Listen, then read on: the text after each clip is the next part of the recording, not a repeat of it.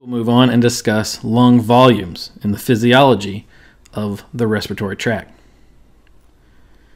It's important to be able to understand this respiratory flow chart for the USMLE. We're going to discuss several different measurements that you must know and be able to calculate. First of which is tidal volume.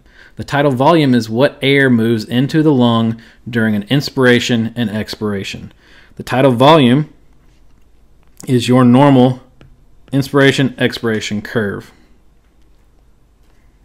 Beyond that, the expiratory reserve volume is air that can still be breathed out after you finish your normal expiration.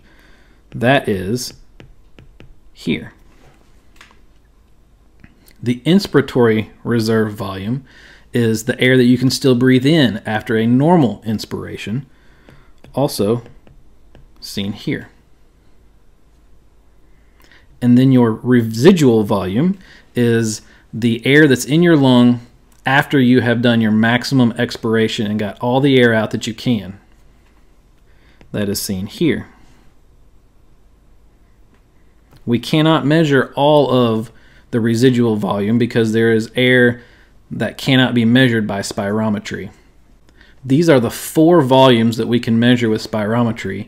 And then beyond that, we can calculate capacities based upon at least two or more of these individual volumes.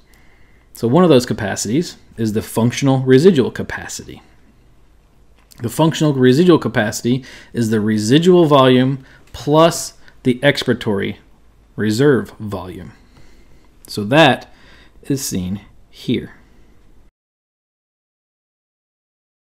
Next is the inspiratory capacity. The inspiratory capacity is the inspiratory reserve volume as well as the tidal volume. It is measured from the bottom of our tidal volume all the way up to the top of our inspiratory reserve volume and is our inspiratory capacity. The next capacity that we can measure is the vital capacity. The vital capacity is calculated by adding together the tidal volume, the inspiratory reserve volume, and the expiratory reserve volume. The vital capacity is the maximum amount of gas that can be expired during a maximal inspiration.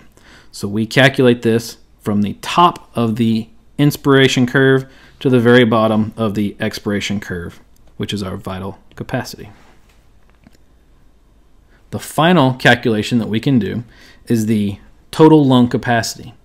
The total lung capacity is calculated by adding together the inspiratory reserve volume, the expiratory reserve volume, the tidal volume, and the residual volume. And it is the entire curve from top to bottom, which is our total lung capacity. As we mentioned, the lungs do have physiologic dead space. Dead space is portions of the airway that do not participate in gas exchange, and the air in that dead space cannot be expired from the respiratory tract. So, our physiologic dead space is dead space of conducting airways plus our alveolar dead space. As you see here in this picture, our alveolar or our physiologic dead space is everything that you can see that does not participate in gas exchange. We can calculate our physiologic dead space using this formula. Our dead space volume is equal to our tidal volume multiplied by the arterial partial pressure of carbon dioxide, which we subtract from the expired air partial pressure of carbon dioxide and divide that once again by the arterial partial, pressure, partial pressure of carbon dioxide. The apex of the healthy lung is the largest contributor to alveolar dead space, which leads us to the conclusion that everything is better at the bottom of the lung. We'll talk about more things that are better at the bottom of the lung, but in regards to Gas exchange is better at the bottom of the lung because there is less physiologic dead space. Next, let's talk about elastic recoil. Elastic recoil is the tendency for lungs to collapse inward and the chest wall to spring outward. our chest wall is used to inhale air, and then the elastic recoil of the lung is used to exhale air. We also use the term compliance in regard to the lung. Compliance is the change in lung volume for a particular change in pressure. so if we increase compliance, it makes our lungs easier to fill. If we decrease compliance, it makes our lung harder to fill. Examples of increasing in compliance is emphysema and aging.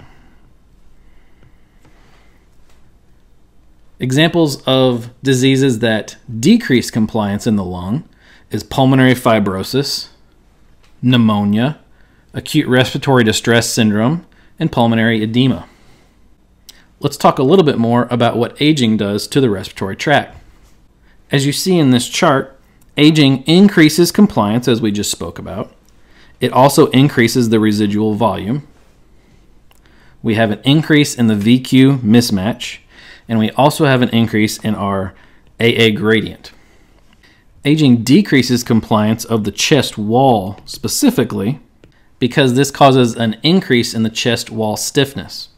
We also see a decrease in the functional vital capacity and the FEV1. Aging also decreases the respiratory muscle strength. And we also see a decrease in our body's natural response to hypoxia.